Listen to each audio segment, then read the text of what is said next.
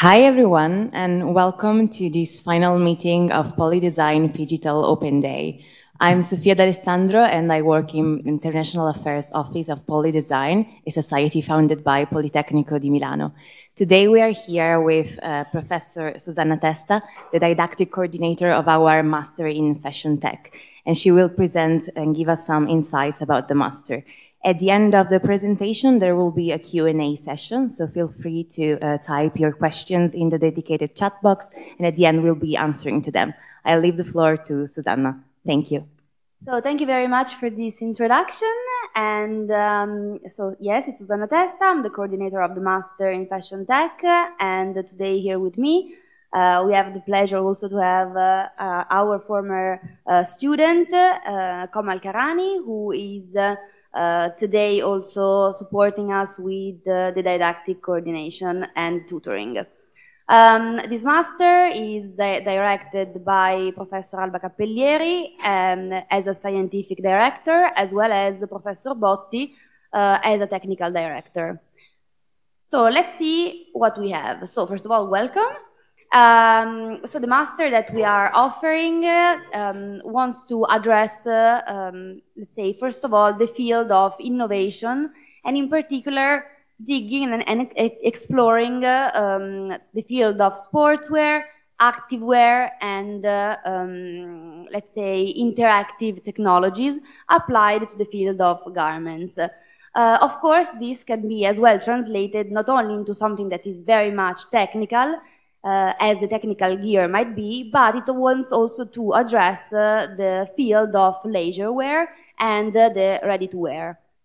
All this uh, linked, of course, to the topic of sustainability. So all the projects and all the topics that we will cover will, of course, address as well not only the technological innovation, but as well the application of the technological innovation applied to um, a sustainable concept.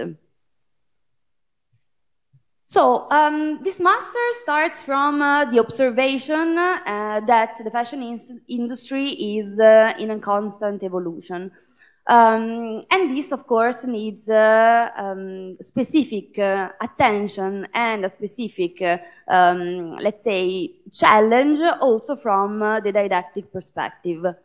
What do we mean with fashion tech? of course, maybe this could be uh, a question of yours. Uh, maybe you were intrigued by the name. Uh, what we mean by fashion tech is this uh, like focus over on to new products, new services, new processes, but also tools as well as professionals that arise from an interdisciplinary approach. And this, uh, how do we do this? so um, the goal of this master, and I would say also the heart of this master, um, the core of it uh, is uh, the relationship with the companies. Um, so it's really important for us uh, to really um, create an actual bridge with the companies in order to understand what are their needs and also where the market is heading, not only in the next future, but really understanding where, um, let's say, the innovation can be also seen uh, in uh, the year ahead. How do we do this?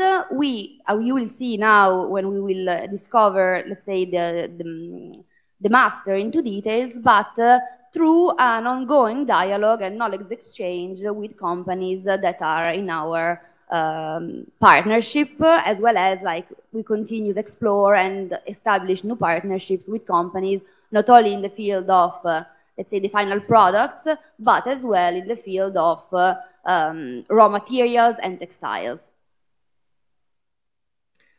So we already gave a sort of an overview. Um, so as, as, as, we said, as I said, uh, um, the, the, the, goal of this master is to train professionals able to develop skills uh, both in the field of sportswear uh, design, but as well the one of activewear, the one of uh, um, interactive, but as well uh, like moving uh, into the field of leisure wear, um, but as well, like in all the different cases, with a specific focus on the topic of sustainability. Um, so, of course, this master is very much uh, addressing uh, the technological innovations and not only it explores uh, the possible functions related to the new needs uh, and um, of the fields that we are exploring and, and addressing, um, which, is, which are, of, of, course, very much performative, functional oriented, but as well uh, merging it with the aesthetics. So really trying to combine what is something that has, uh, let's say, um, a design approach uh, um, towards aesthetic, merging it with the function that uh, technical uh, gear might require. Um, so another important aspect of this master is really focusing on uh, the new needs uh, of consumers. So um, the idea really of the different workshops that is actually, we will see them together, are the heart of the master itself which are challenge-based, design challenge-based, um, start from the real needs uh, of the consumers and the new emerging lifestyles. So really, like if you like have an idea on how fashion is evolving, we are now moving into global collections. You don't have any more like specific seasons that you, that you want to, to address specifically. Um, also, if you think about your, your, your wardrobe, also few different clothing items and as well uh, an importance that is always raising uh, towards uh, the environmental impact that this may have. So recycling, reusing, and repurposing are going to be at the base, at the core of, uh, let's say, all the challenges that might change, okay, in terms of brief, but uh, this will be always a sort of, um, let's say, base for all the projects that the students will develop uh, in our master. So what kind of professional do we train? so our goal is really starting from the need of the company and developing professionals that are able in like a wider way to, um, let's say, um, face challenges that start from, uh, let's say, that go through throughout the entire value chain. So from uh, the part dedicated to the textile and the raw material, but going through the coating and as well being able to design, of course, understanding um, the pr production phases uh, and being able to support, let's say, the product development, but as well uh, the communication part. So also having an understanding of what it means also to commercialize a product and be able to uh, create something that has a specific uh, place in the market. So you can see here the three different areas of, uh, say, professionals that we, we train. Of course, these are sort of generalizations, but uh, um, the area that we address are the one of research and development, style office, and production. It's also very important that we address, we will see it later also in the presentation, but we uh, address with this master not only designers, but people coming from different areas um, and different sectors. So, for example, we had students coming from engineering as well as marketing. And the idea is really to, of course, create a sort of a common base knowledge for all of them, but really also trying to uh, since also the classes are not very wide in terms of numbers, we have a limited numbers of people allowed in, to also um, make sure that all the different professional figures can be in a way cherished throughout the, the, the path. And of course if you enter let's say the master as an engineer maybe like your first interest is not going to be specifically i don't know um, research the research phase but maybe you have like another interest within uh, let's say the uh, the final goals that you could reach as a professional. So anyway, the professionals that we, that we shape, that we, we want to train are related to research and development, to the style office, so I would say the more creative part of the design process, but as well to the production phase. And this you also have to imagine that is not only related to the final product itself, but we have also very many students that uh, um, were with us in the past edition that worked, for example, for um, coating companies or textile companies. So it really depends on uh, um, the need of uh, the student itself. So how is the master structured? We have, um, uh, it's divided in this scheme into five main parts. Uh, you will have uh, the four, the, the, the, first four parts uh, here at POLI.design, um, but then you will have uh, the final part uh, in a company as an internship. Um, First of all, once you once you will join uh, eventually this master, you will go through a theoretical part, a theoretical part that will be um, uh, delivered uh, through um, lecture given by different professionals coming from the field. Uh, these people could be um, professionals that work in the companies, but as well athletes that come and bring their own uh, specific case study as a specific need of an end user of the product to be used. Um, and so this wants to cover somehow the sport where today, but also also um, giving the possibility to students to understand also how to, uh, for example, identify new trends or identify the needs of uh, the new customers. So this is, let's say, the preliminary part of the master. The second part is dedicated to tools. Uh, the tools are the alphabet, so the common alphabet that we um, ask students to be able to, uh, to use in order to communicate uh, among them, but also to the companies. Um, we said that we allow in students that come from different uh, environments uh, but what is really important for us uh, also during uh, the mm, interview moment is to understand that uh, um, no matter, let's say, the, um, the context uh, in which they come from, they are able to respond in a creative way to a design challenge. Um, but of course, it's important that we make sure that all of our students have a common base knowledge of the tools, uh, in particular the digital modeling and uh, the graphic and the presentation. Digital modeling, uh, we use uh, from this year two different software, both Rhinoceros uh, as well as Clo 3D, um, which are very much required by the companies today. And well, for the graphic part, uh, we um, like, train students in order to craft professional presentations in order to address the company in a, the most professional way possible. Then we have the design workshops. Design workshops are the heart of this uh, master. Uh, there are five, and uh, each and every one is approximately 60 hours or either 90 hours long. Um, it, they're one after the other, okay? And uh, each and everyone is addressing a specific design challenge each and everyone, we will see them together in brief, but uh, you, so, so, just to give you an overview on, on what we mean uh, with, with these titles, um, each and everyone is done in collaboration with one or multiple companies.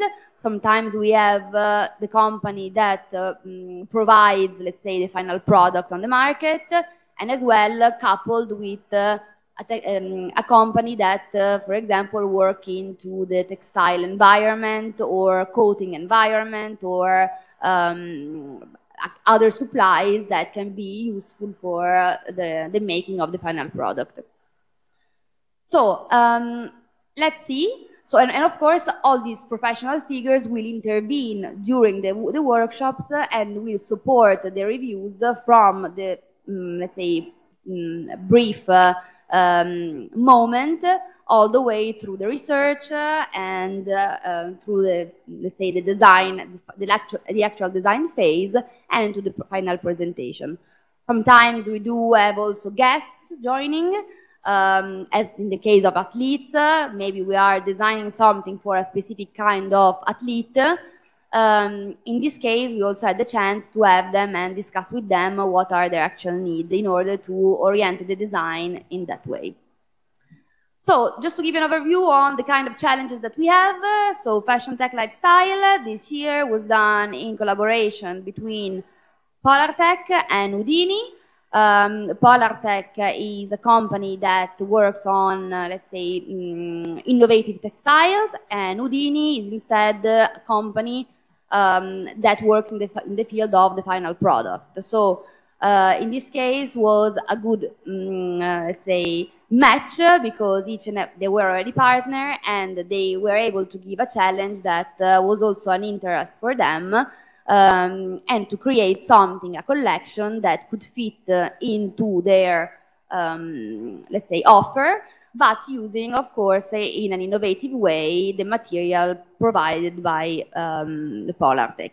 So usually, uh, then each and every brief is, uh, is, different. Each and every year we have different companies and different challenges, but uh, most of the times the process go through a phase dedicated to the brand identity, so understanding uh, the brand and uh, uh, fine-tuning with the brand itself, understanding the products that they have, and also then working on the final target, um, and then working on the design. Here, of course, it's just an overview. The project was much more in, in depth, but so that you have an idea on the kind of uh, product and um, technicalities that uh, we ask students to, to work on. So defining the shape, but also defining the kind of materials, the, um, the, the company who produces them, and really creating something that could actually be something feasible for them and for the market. Last year we had uh, another, it was always Polartec, but we coupled with another brand, uh, which was Santini. So the challenge in this case was different because they addressed uh, um, the target of bikers, of commuters. So of course here uh, they had to address uh, also their design, uh, the design mm, strategy and the analysis on the different target. And then, of course, the final presentation where you see also the, um, the use of Clo3D as a tool for presentation. Um, activewear is something that we've been always done since the very first um, uh, edition with Colmar. Um, Colmar is a brand that works uh, uh, specifically with uh, um, ski wear.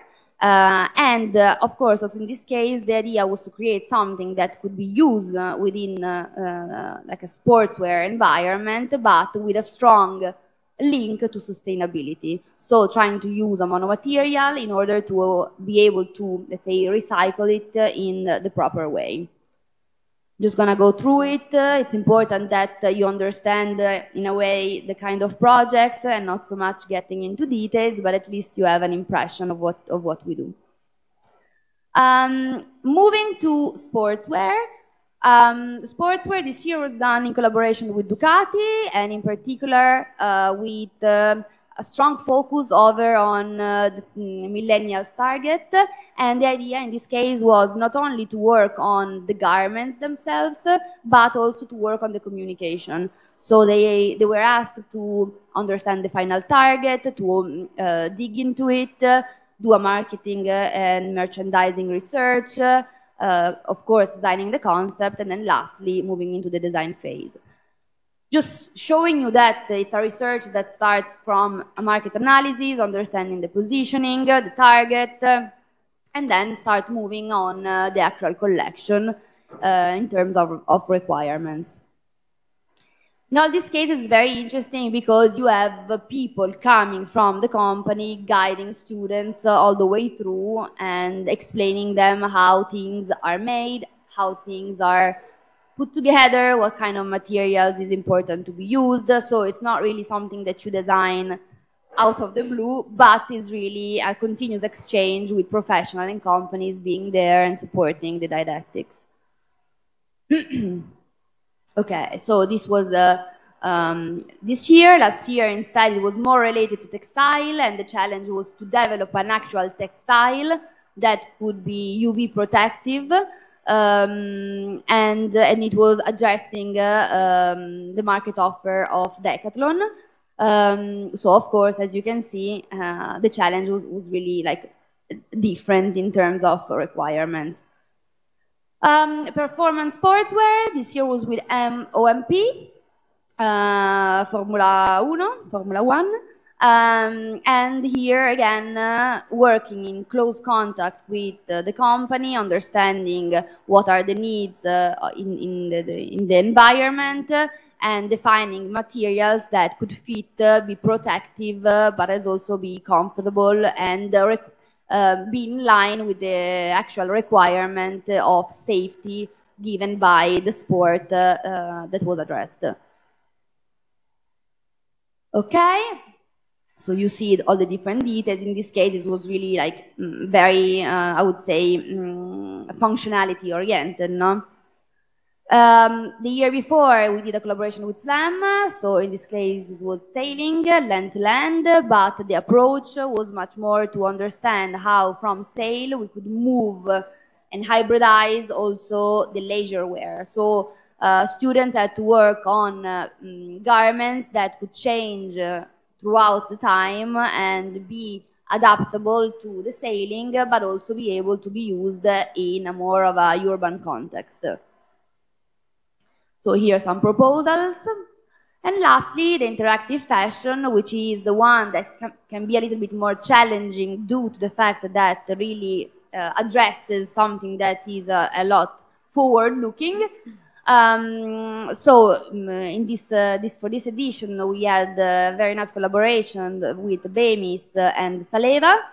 Um, and, um, and here in this case, it was really to explore what was a possible need of, uh, let's say, um, uh, let's say the, the, the, the skiing sport, uh, but also the mountain sports uh, in, uh, let's say, um, 10 years ahead.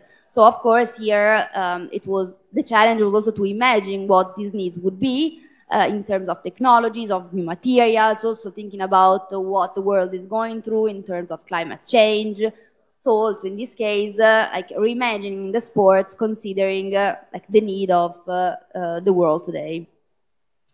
So you see consumer analysis uh, and then working on the materials themselves and also then trying to understand what kind of uh, textile and um, bonding materials could work better for the need.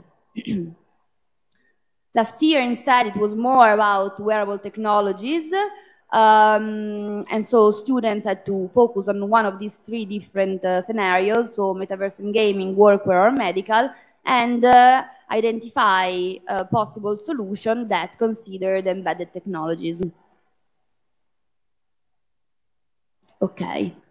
then, after this, this design workshop part, we have the part dedicated to the presentation and portfolio, so where we have a sort, sort of a wrap-up of what we do, what, what we did during the workshop, so that the student can finalize their portfolio and present themselves to the companies. And lastly, we have uh, the company, uh, the internship. So the internship is done um, in, a, in a company that could be uh, that could belong both to final production, so final products, but also to, uh, let's say, coating and uh, uh, textile. So this is something that we also discussed together at the, at the end of the, let's say, the part here at school. So really to understand what are the actual needs of the student in order to find the proper match with the company. Okay, so let's move into dates and deadlines. So uh, the Master in Fashion Tech, Master in Fashion Tech is going to start uh, um, basically one in one year from now. So it's going to be Monday, the 28th of October in 2024. Um, it's mainly going to be physical, but of course now we are prepared for any sort of uh, happening that we have to change the didactic into a digital mode.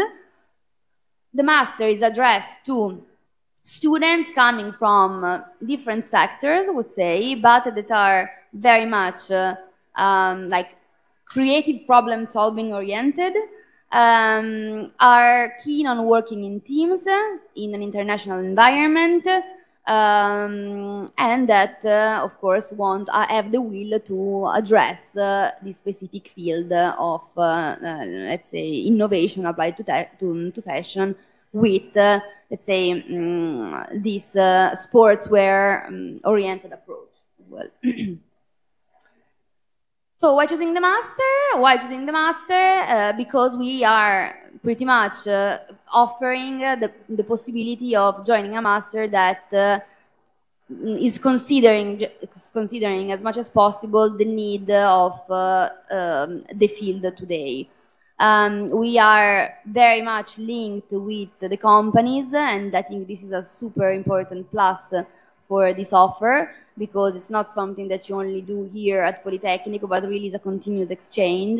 And of course, this is very much beneficial for a master that is a specializing master that has the aim to create this bridge between, uh, let's say, the university, but uh, like like helping students to find their own way in the market.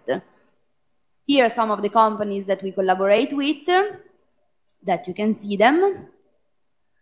We have here an overview on uh, our nice spaces uh, from, let's say, the uh, scientific coordinator, was Alba Cappellieri, Professor Botti, uh, the, te the, technical coordinator, me, but also Komal, you will see, and ma very many different uh, professionals that work as, let's say, teachers also within the master in order to pass the knowledge and uh, help students in replying to the challenges that are, that are uh, being given them. Okay, so here just some uh, some final uh, final let's say informations. Um, so the deadline in order to be able to to attend the master and to, to submit the, the, um, the application for the EU and non-EU who graduated in Italy uh, is um, August 28 while instead uh, for the non-EU citizen who, graduated abroad is July 28. Very important that if you know that you have to go through a visa process, that you really start soon uh, to do this uh, because it's it's super big pity that uh, you start uh, the um, application late. We will we will of course ad admit in the sense that if you are eligible and you are in line with our requirements, um, but uh, for us, it's super important that uh, we are here and we can exchange knowledge within uh, the community that we create. Um, what do you have to do? If you are interested in joining the course and do an application, you need to present your CV, your motivational letter, a portfolio of projects. Um, of course, if you come from another field that is not design or architecture, you might as well uh, maybe uh, like support uh, your background with some sort of case studies in order for us to understand uh, like your capability of uh, like being able to creatively um, let's say um, solve a problem let's say and then you have to have your IDs uh, and your the copy of the bachelor de degree and the copy of the university's transcript of records. Um, we have the fees as well. So it's uh, 11,000 um, for, let's say, for, um, for the year. Um, and uh, 500 is given to uh, Politecnico di Milano enrollment fee, and the rest is the attendance fee. So, thank you very much for your attention. Uh, we are here to answer your question. We have also here um, Komal, who is uh, not only like a previous student, but also now tutoring this uh, uh, current edition. So if you have any doubt, any um, even curiosity uh, to ask her as a student, I think it's super nice that she was able here to join us. so thank you so much. I'm happy to be here. Okay. Thank you, Professor Testa, for this very interesting conversation. And I would like to start asking if anyone here from the audience has any questions at all. Nope. Okay, then let's move to the questions from home. we have a couple of questions. First of all, will there be company visits as well during the master? Yes, we organize company visits. Uh, um, it depends also on the kind of companies that we are working on in the specific year, but it's something that we organize. Um, so yeah, for sure we do. It's a part of our didactic uh, path. Great, thank you very much. Next question, will the projects of the workshop be developed as a single or in group?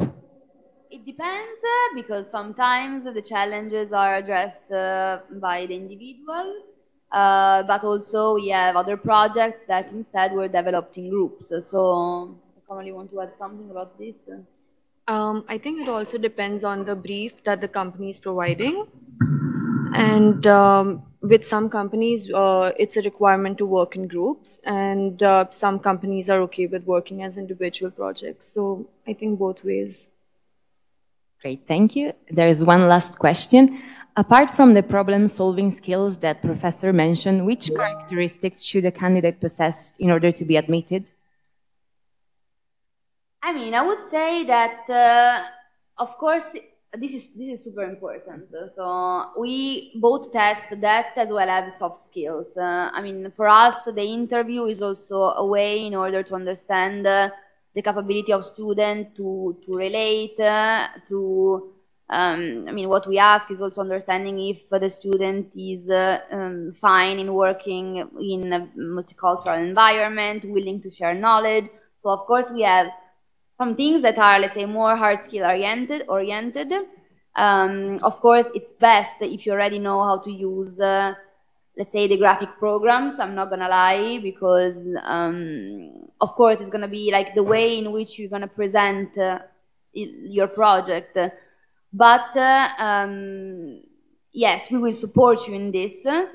If you are if you know that you are interested and that uh, you come from a field that is not the one of design or architecture um, but you're like you're willing to to join um, i think it's important that uh, um, you start as well maybe learning a bit of uh, the graphic skills uh, in order to be able to you know be already a little bit smoothed up uh, into that uh, so that you don't come like from um, total scratch on on that. Uh, what do you say?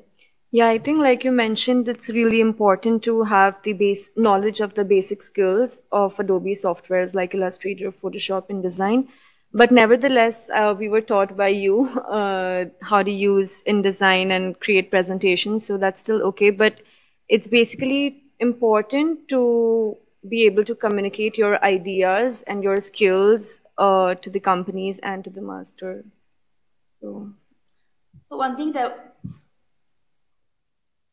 one thing that I would like to add that uh, um, really this master is there for you to um, take advantage in a good way of uh, the situation of uh, um, let's say the, profes- the professionals that uh, uh are there and understanding um, what they can give you. So in my opinion, it's important that you are curious and that you try as much as possible to get the most out of uh, the situation in which you are placed in, I would say, you know? Yeah. Because the more you are exposed, the more you, you like you do that, uh, let's say, um, proactive, uh, uh, the more you have that proactive attitude, the better, the better it is. But this is not only in this master, I would say, generally speaking, always, no? For sure. Thank you. Uh, there are two uh, more questions, but uh, I may, if I may ask you to answer them real quickly because we're running out of time. So the first one is diving into the technical aspect of research. What kind of guidance, help can the student expect to receive, speaking in terms of field guidance? And the next one, sorry, I will ask them in together. What are the required and most used softwares? sure, sorry. I will repeat it.